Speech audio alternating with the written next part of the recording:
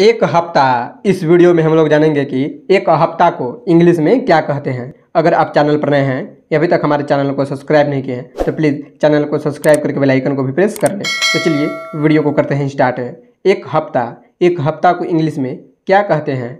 Answer, एक हफ़्ता को इंग्लिश में वन वीक कहते हैं। Spelling O N E one W double E K week, one week one week means एक हफ़्ता।